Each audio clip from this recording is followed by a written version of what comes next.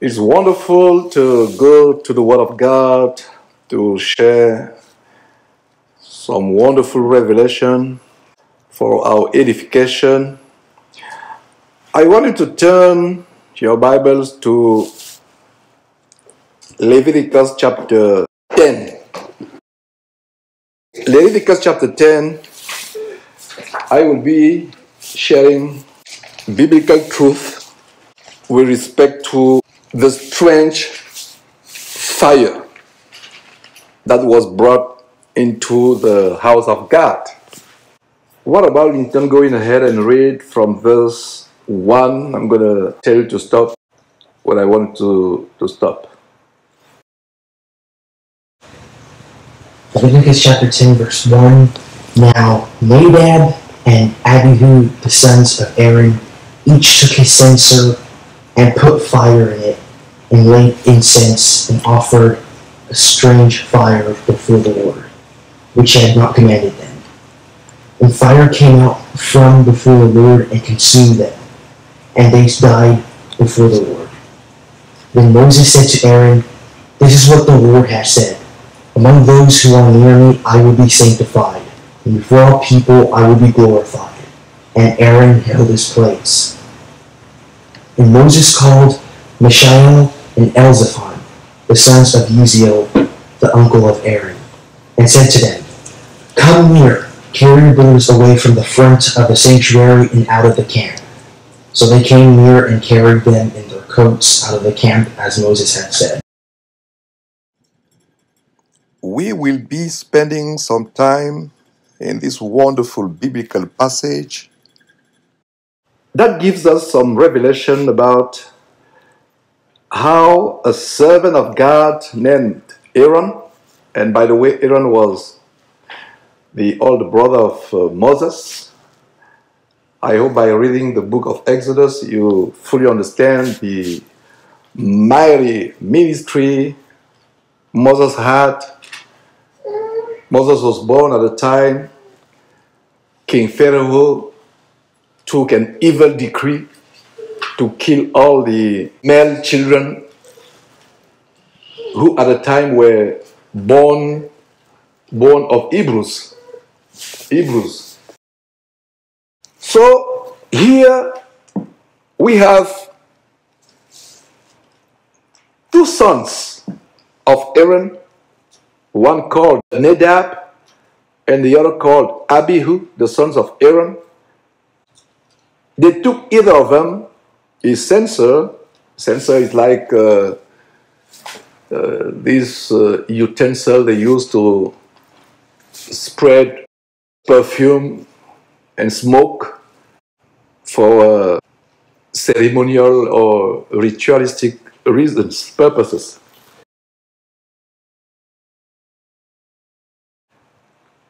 How can we, as a Christian family, understand this wonderful biblical passage? As we read, they were killed by God, they were punished by death. They were punished by death. The same day, they were smitten, killed by God, who sent the fire that devoured them, meaning that killed them. Why did God kill these two young men, these two sons? They were the son of a high priest called Aaron. Today, Aaron will be like what? A pastor, right? A pastor, um, an apostle in a, in a church. So at the time, Aaron was a prominent figure within the people of God. But what happened is two of his sons brought inside the house of God strange fire. And today, the house of God can be your own body, is the house of God. Because the Bible says in 1 Corinthians chapter 3, verse 16, that we are the temple of God, right? Do you remember that verse? We are the temple of God. But The house of God can also be the household, like our family, where we dwell, where we raise our kids. So, how can kids, Christian kids nowadays, introduce strange fire in their parents' family? There are many ways kids can introduce in their parents' house, in their household, in their family, in their home, strange fire. I want you kids to understand the seriousness of this situation. The wrath of God is manifested when kids, sons, daughters introduce in the house where they live strange fire. I hope you understand. So they introduced strange fire and they were killed, they were punished. How many kids in Christian families would have been killed if God wasn't merciful? If God wasn't patient? If God wasn't forgiven? The God who killed Nadab and Abihu is the same God we have today. The only fire we should have in our house is the fire of the Holy Spirit.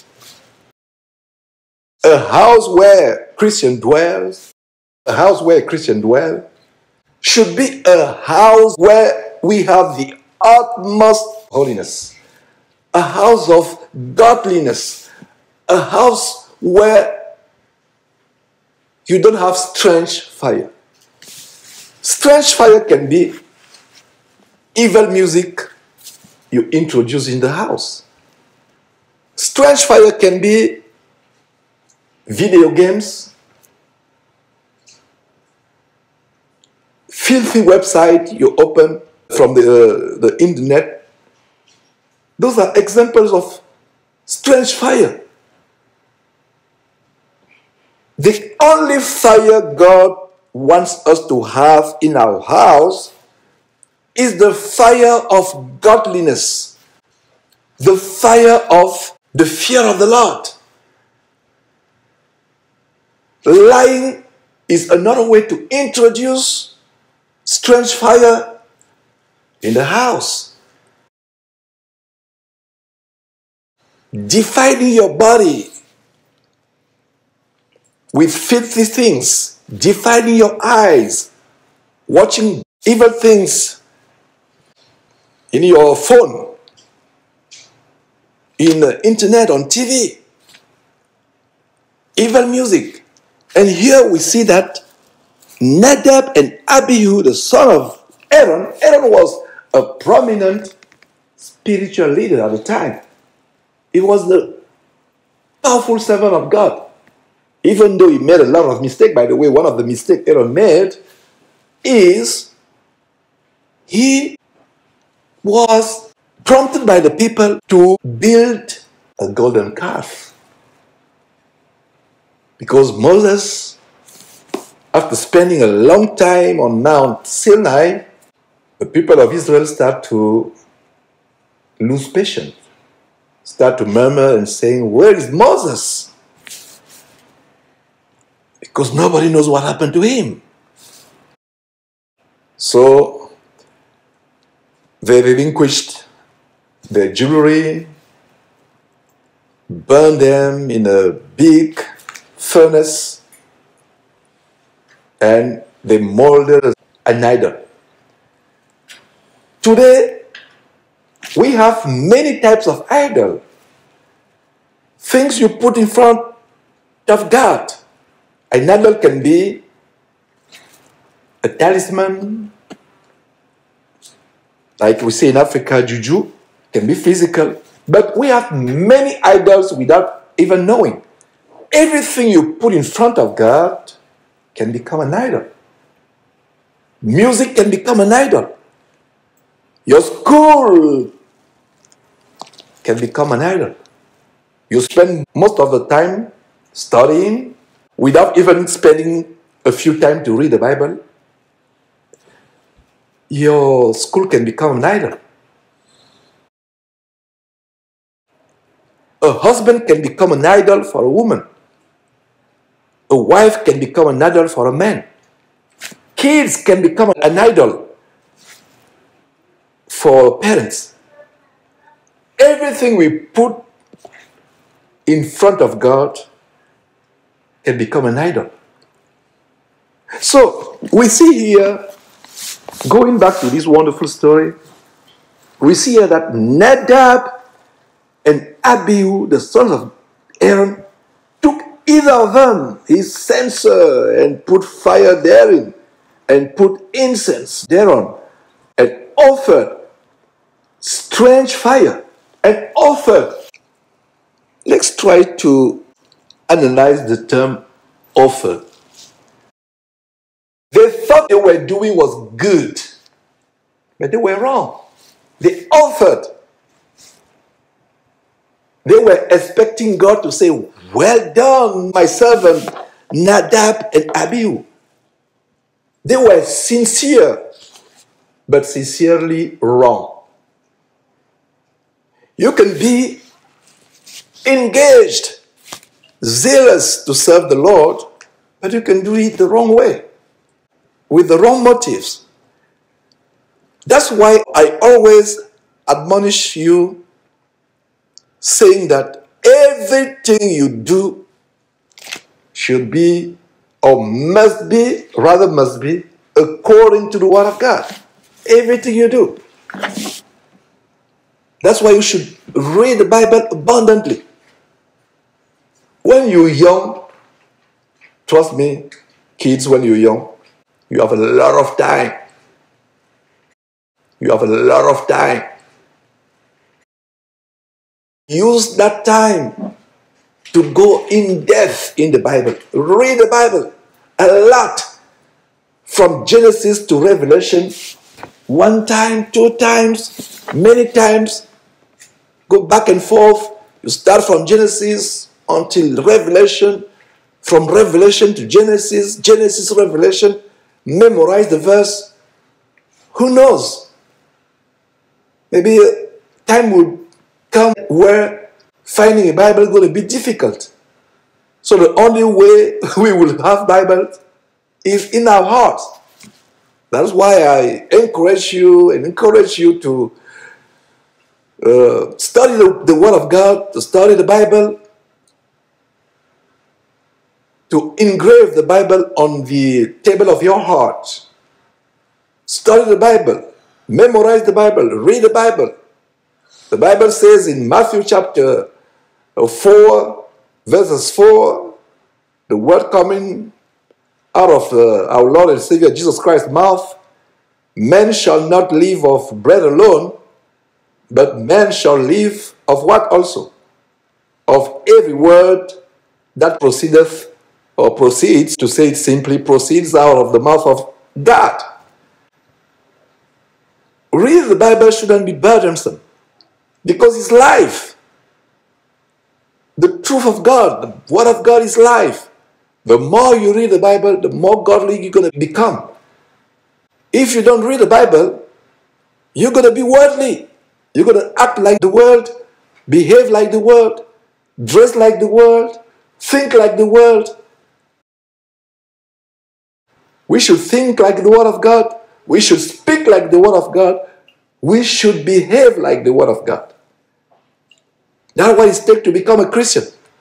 And this is a great warning.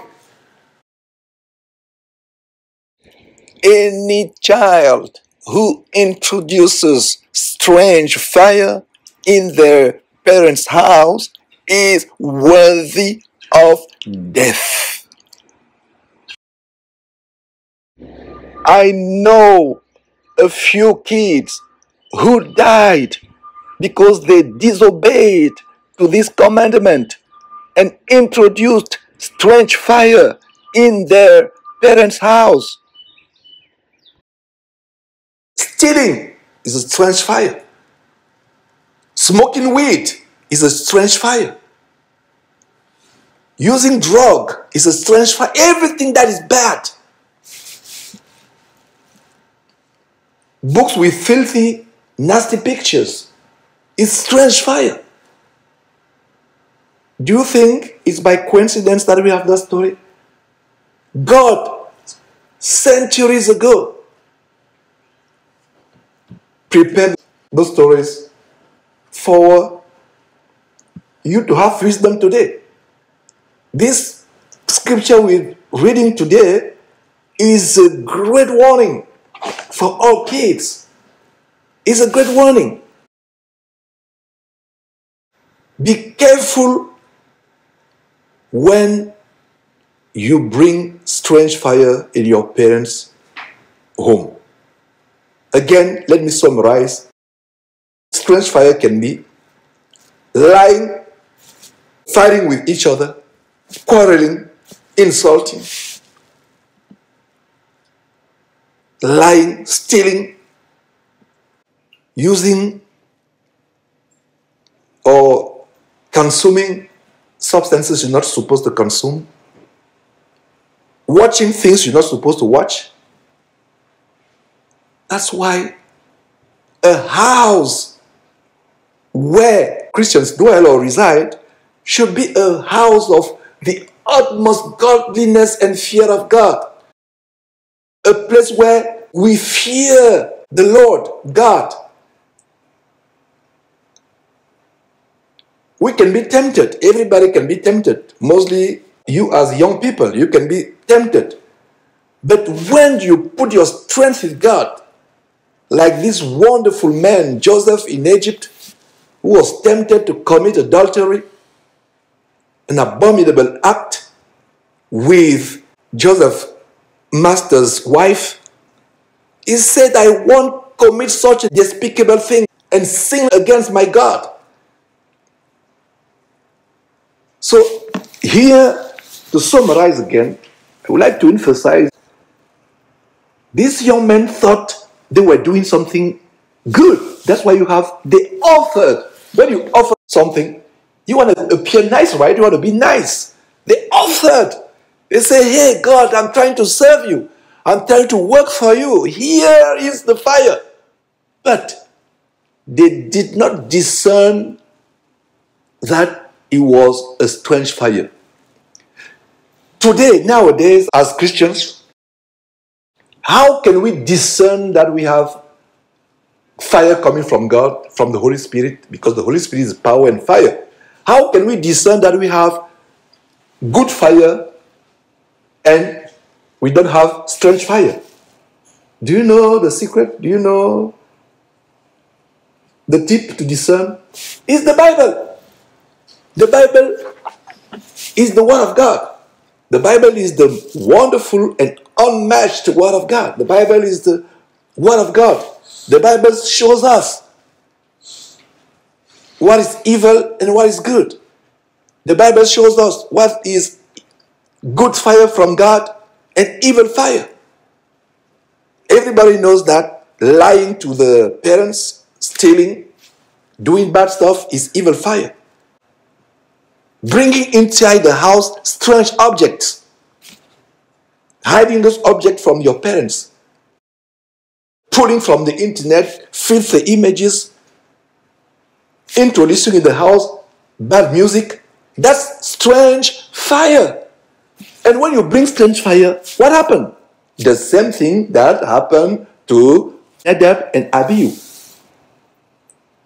And bear in mind that they were the son of a man serving God. And kids, be careful. When you have a mom serving God, you have a father serving God, you have to be very, very careful about what you do in that house.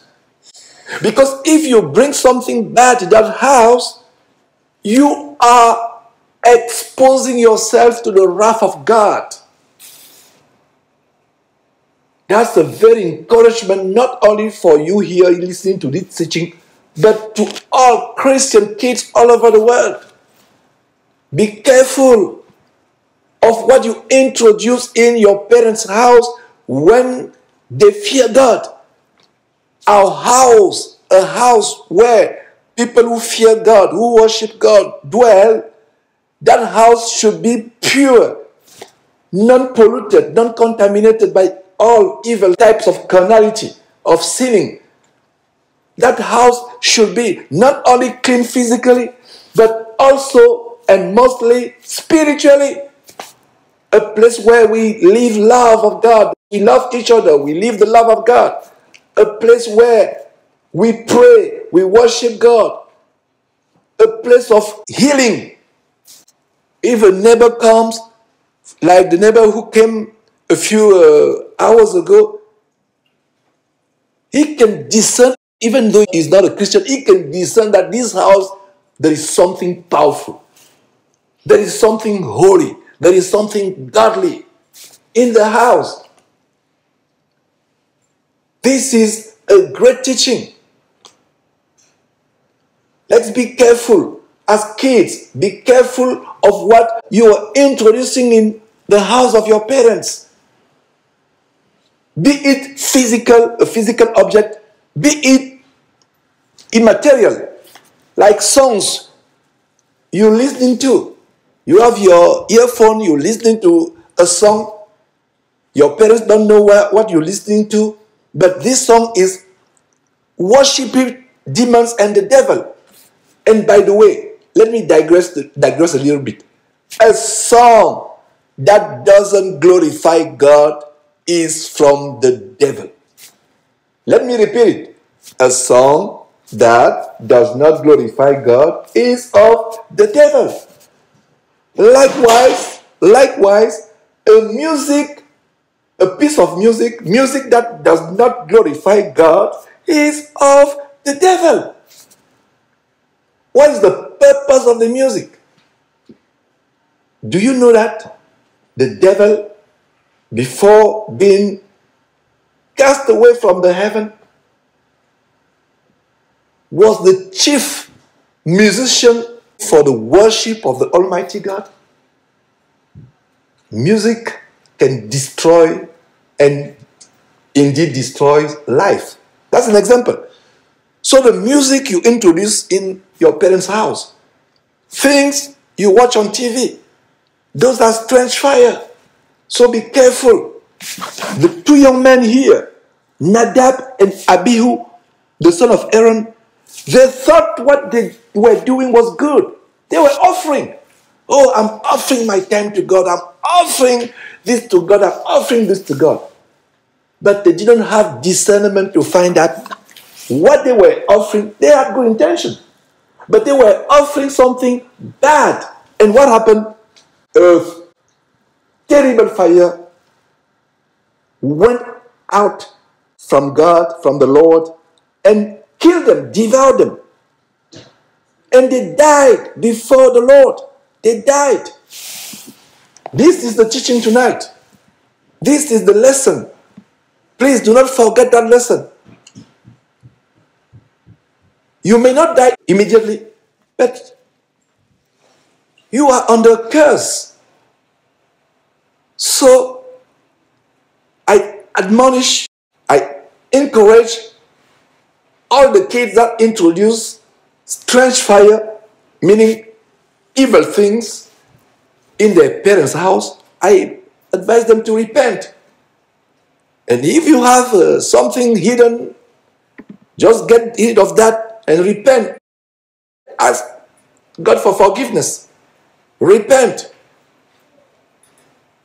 Get rid of this evil fire. Evil fire can take many forms. I want you to understand that. One form can be lying to your parents. Another form can be watching filthy things on the internet, on TV, listening to bad music, polluting your mind with nasty thing, uh, things. This is an example of evil fire, strange fire, strange. Strange means God does not recognize that. Strange means is an abomination in the eyes of God. That's the meaning of strange. And even in English, we have expression, oh, that's strange. Yeah, it's strange. We should have in front of God a wonderful, nice order of godliness. An order of godliness must emanate from the way we, be, we behave, the way we dress, the way we act, the way we talk. There is a verse that admonishes every Christian about evil word. When we open our mouth to speak, people should hear grace, wisdom, politeness, intelligence. Not intelligence according to the world, but intelligence according to God. So I hope this teaching is easy to understand. The lesson is easy. We have here two young men, sons of a minister, sons of a preacher, son of sons of a high priest, a very prominent, prominent spiritual figure at the time of Moses, number two after Moses. God did not spare them because they were the son of a high priest. God even expects more from sons of his ministers. God expects more. Because when you are a son of a woman who fear God, you are a daughter of a man who serves God. Oh, kids, be careful. Do not introduce in the house of your parents strange fire. Clean your house. Clean your bedrooms. Take out of your bedrooms anything that's strange fire. Those are object of death. What was the object of death? What was the object that caused the death of Nadab of Abihu? Strange fire. Nowadays we have many strange fire. Things that does not glorify God. Video games. Everything that is nasty, everything that's evil, everything that's filthy, that contaminates or pollutes your mind, your eyes, your ears, what you listen to the whole day, what your eyes are seeing on the internet. You can be there hiding from the parent and say, Oh, my parent cannot see what I'm doing. I have a very strong passcode on the internet. No, but God is there watching you. God is there seeing what you're doing.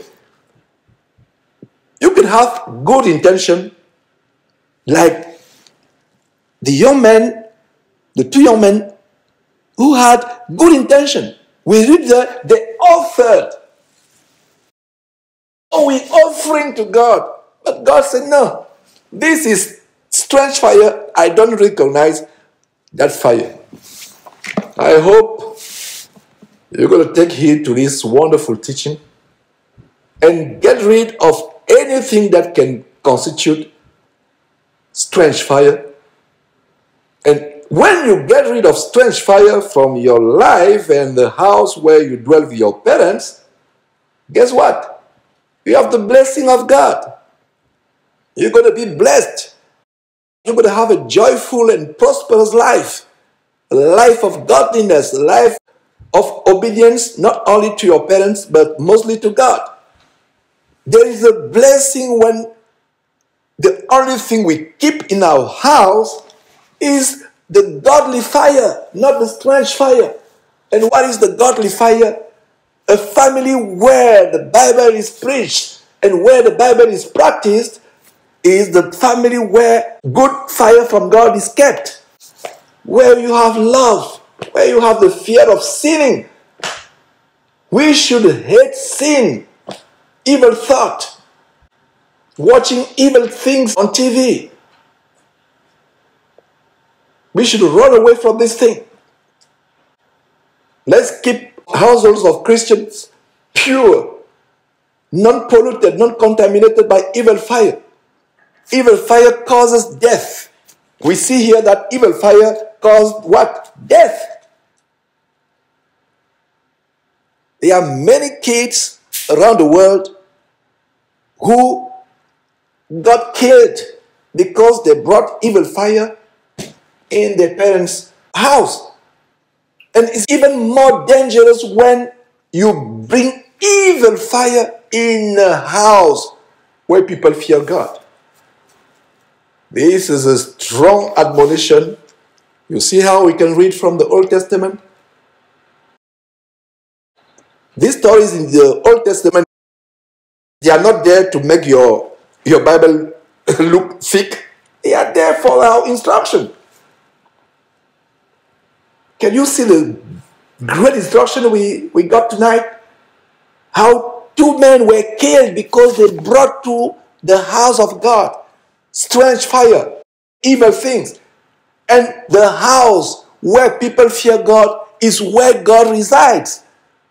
The house where people worship God in spirit and in truth is the house where God dwells. Bringing evil fire where God dwells is bad.